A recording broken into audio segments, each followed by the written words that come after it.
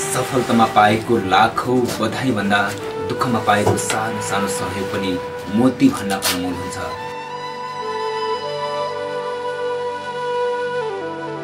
प्रधानमन्त्री केपी शर्मा ओलीज्यू तपाईँ जस्तै तपाईँका आम सर्वसाधारण नागरिकहरू आम छोराछोरीहरू नेपाली पब्लिकहरू बाँच्ने चाहना छन्। नन्दकुमारी मगर जस्तै लाउ लाउ खाउँ खाउँ उमेरमा यो अठाइस वर्षीय नवजवानमै साँच्चीकै आफ्नो जीवन र मरणको दुसादमा पुगेकाहरूले बाँच्न चाहन्छन् जसले गर्दाखेरि तपाईँले त्यत्रो राज्यको चाहिँ स्रोत खर्च गरेर किडनी ट्रान्सप्लान्ट सफल बनाउनु भयो भने तपाईँले आफ्नो छोराछोरीलाई हेरचाह गर्न पनि तपाईँसँग जिम्मेवारी छ। नमस्ते मेरो नाम नन्द कुमारी मगर म धेरै पीडा दुःखमा छु। मेरो दुइटै किडनीले काम नगरेको भएले आर्थिक सहयोग गरिदिनु हुन हार्दिक अनुरोध गर्दछु।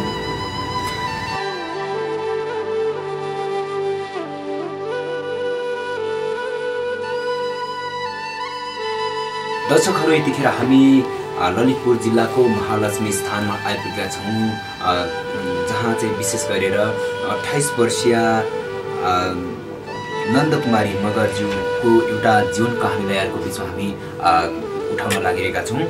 भानु नगरपालिका वडा नम्बर तिन तनहुको स्थायीवासी उहाँ हुनुहुन्छ भने उहाँ चाहिँ विशेष गरेर विगत एक वर्षदेखि किडनीको समस्याले पिरोलिराख्नु भएको छ। दुइटै किडनीले उहाँको काम गर्न छोडिसके पछाडि उहाँले विशेष गरेर टिचिङ हस्पिटलमा उहाँको किडनीले काम गर्न छोडेको भन्ने डक्टरहरूले पत्ता लगाइसके पछाडि उहाँ अहिले मार्क इन्टरनेसनल कुलाङ्कीमा चाहिँ डायलासिस गर्दै आइरहनु भएको छ। र विगत लामो समयदेखि उहाँले यो किडनीको डायलासिस गर्दै आइरहनु हुँदाखेरि नेपालमै ट्रिटमेन्ट सम्भव छ तर पैसा धेरै लाग्छ र विशेष गरेर किडनी चाहिँ ट्रान्सप्लान्ट गर्नुपर्छ। यो डायलासिसले मात्रै पनि हुँदैन भनेर चाहिँ डक्टरले पनि सम्झाउनु पछाडि उहाँले किडनी दिने मान्छे अर्थात् किडनी दान गर्ने मान्छेलाई पनि अहिले खोजिराख्नु भएको छ। यतिखेर हामीसँग नन्द कुमारी मगरज्यू हुनुहुन्छ। उहाँसँगै म केही कुरा गर्न लागिरहेको छु। हजुरलाई स्वागत छ नमस्कार है।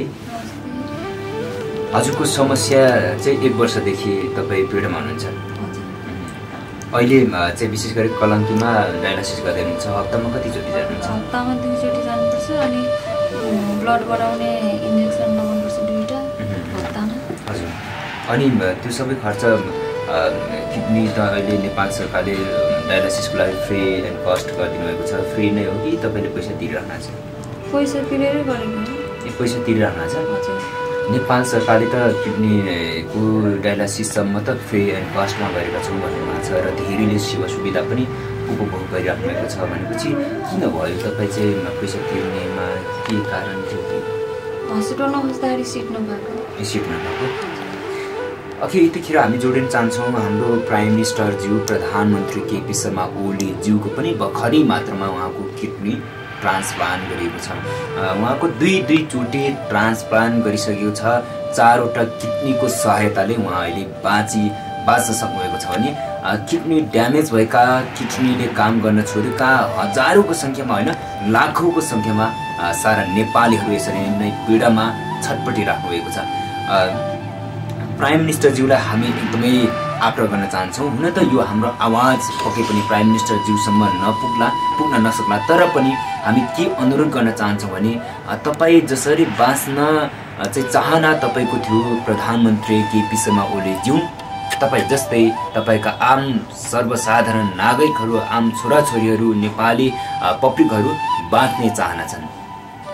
नन्दकुमारी मगर जस्तै लाउ लाउ खाउँ खाउँ उमेरमा यो अठाइस वर्षीय नवजवानमै साँच्चीकै आफ्नो जीवन र मरणको दुसादमा पुगेकाहरूले बाँच्न चाहन्छन् जसले गर्दाखेरि तपाईँले त्यत्रो राज्यको चाहिँ स्रोत खर्च गरेर किडनी ट्रान्सप्लान्ट सफल बनाउनु भयो भने तपाईँले आफ्नो छोराछोरीलाई हेरचाह गर्न पनि तपाईँसँग जिम्मेवारी छ र नेपालको शिक्षा स्वास्थ्य रोजगारी आदि इत्यादि हामी नि शुल्क गराउँछौँ भन्ने एउटा प्रतिबद्ध यो तपाईँको सरकार थियो त्यो अवश्य लागू गर्नको लागि हामी हार्दिक अनुरोध गर्न चाहन्छौँ।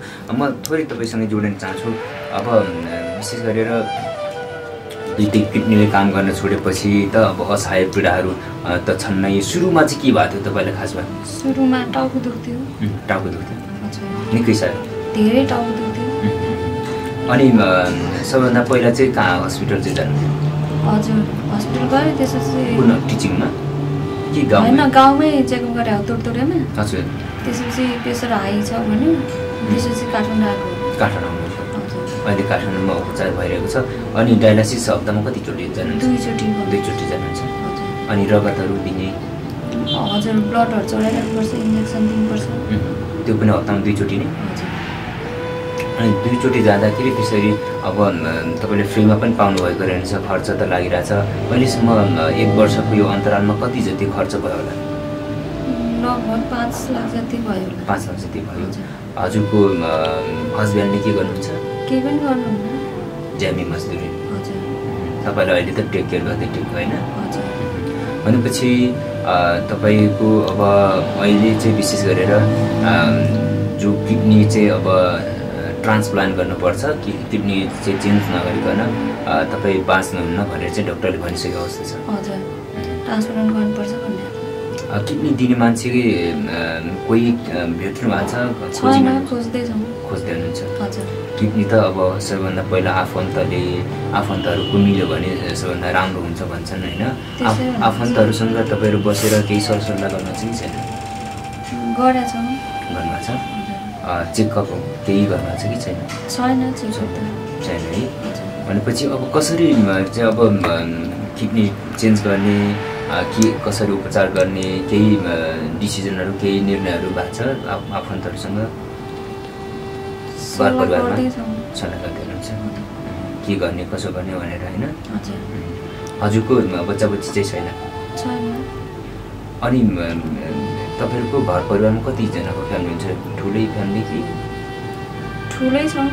ठुलै हुनुहुन्छ। हजुर हजुरको हस्बेन्ड दाई दाइ? जेठाजु दाई बहिनी सासू ससुरा दाईको छोरा। सल्लाह गर्दै हुनुहुन्छ हजुर। आफन्तले कोही कसैले यदि मिलिहालेछ भने अब किडनी ट्रान्सप्लान्ट गर्नको लागि त धेरै चिज मिल्नुपर्छ होइन? यदि डक्टरले चाहिँ प्रमाणित गरेर प्रुभ गरेर मिलिहाल्छ भने हामी दिन्छौँ भन्नेहरू आफन्तबाट कोही निस्कनु भएको छ कि छैन है सल्लाह गर्न गर्नुहोस् राम्रो गरी होइन? आफन्तहरूसँग घर परिवारमा पनि अब किनभने किडनी ट्रान्सप्लान्ट जस्तो चिज अब ठुलो रकम लाग्छ नेपालको कन्टेन्समा त अब हामीले किन्दाखेरि पनि त्यति सम्भावना छैन होइन? किडनी अ, अरूले जति भन्छ त्यति हाल्नुपर्ने स्थिति हुन्छ भने आफन्तबाट राम्रो मिल्यो भने राम्रो होला। अहिले हाम्रो दर्शकहरूलाई अब हेरिराख्नु हुने सम्पूर्णलाई चाहिँ के भन्नुहुन्छ? तपाईँ सहयोग गरिदिनुहोस् भन्नुहुन्छ कि के भन्नुहुन्छ? नमस्ते मेरो नाम नन्दकुमारी मगर। म धेरै पीडा दुःखमा छु मेरो दुइटै किडनीले काम नगरेको भएले आर्थिक सहयोग गरिदिनु हार्दिक अनुरोध गर्दछु हजुर दर्शकहरू भनिन्छ एउटा भनाइ छ मन्दिरमा गएर मन्त्र जप्ने ओठहरू भन्दा साँच्चीकै दुई पैसा नै किन नहोस्? सहयोग गर्ने ती हातहरू पवित्र अनि महान हुन्छन्। ती तपाईँकै पवित्र सहयोग अनि महान हातहरूको पर्खाइमा तपाईँकै बाटो कुरेर नन्दकुमारी मगर यो अठाइस वर्षको लाउ लाउ खाउँ खाउँ उमेरमा जीवन मरणको दुसारमा छटपटी राख्नुभएको छ। जसले गर्दाखेरि कृपया दर्शक महानुभावहरू जति सक्नुहुन्छ त्यति सहयोग गरिदिनु होला। तपाईँहरूको सबैको एउटै अवस्था हुन सक्दैन तर पनि तपाईँले जति सक्नुहुन्छ त्यति सहयोग गर्नुहोला। नसक्न पनि पाउनुहुन्छ। नसकेको खण्डमा यो भिडियोलाई सुरुदेखि अन्तिम समयसम्म हेरेर एक सेयर गर्न भने कन्जुसाइ नगरिदिनुहोला। ताकि त्यस्तो दिलदार मनकारी नेपालीहरूको माझ पुगोस् र नन्दकुमारी मगर अ, बहिनी बाँच्न सफल होस् भोलिको दिनमा र उहाँले बाँचेर धेरै चिज गर्न चाहनुहुन्छ खोज्नुहुन्छ र पक्कै पनि एउटा पुण्यको काम गरिदिनुलाई हामी आग्रह गर्दछौँ अब अन्तिममा छौँ अन्तिम अन्तिममा डक्टरले के भन्नुभएको छ अब यति लाख लाग्छ उति लाख लाग्छ यति जोको गर्नुहोस् अब किडनी पाइसके पछाडि पनि केही भन्नुभएको छ कि किडनी पहिला खोज्नुहोस् मात्रै भन्नुभएको छ किडनी खोज्नुहोस् ट्रान्सफर गर्नु पऱ्यो भने आठ नौ लाख लाग्छ भनेर। ए किडनी चाहिँ दान गर्ने मान्छे होइन एकदमै दानवीर होइन त्यस्तो दानी मान्छे पाइयो भने त्यो किडनीको एक पैसा पनि तिर्नु पर्दैन भने चाहिँ आठ नौ लाखमै तपाईँको सम्भव हुन्छ भन्नुभएको छ नेपालमै उपचार हुन्छ नि नेपालमै सम्भव छ भन्नुभएको छ भनेपछि किडनीको खोजीमा हुनुहुन्छ होइन? हामी हार्दिक आग्रह गर्न चाहन्छौँ यदि तपाईँ साँच्चीकै त्यस्तो दानवीर हुनुहुन्छ भने किडनी पनि दान दिन सक्नुहुन्छ। तपाईँको एउटा किडनीले अरू कोही बाँच्न सक्छ भने तपाईँले किडनी पनि कृपया दान गरिदिनुहोला तपाईँले सक्नुहुन्न आर्थिक सक्नुहुन्छ भने आर्थिक सहयोग गरिदिनुहोला सक्नुहुन्न जे तपाईँले सक्नुहुन्छ आर्थिक मात्रै पनि सहयोग होइन जसले गर्दाखेरि जसरी सक्नुहुन्छ त्यति सहयोग गरिदिनु होला यही आग्रह गर्दै अर्को एपिसोडका साथ आउने बाचा गर्दै आजको प्रस्तुतिबाट म तपाईँको हर्पलको सहायत्री। अझ अलङ्कार बिदा चाहन्छु यहाँको बाँकी पल शुभ बितोस्। सदैव खुसी रहनुहोस्। नमस्कार।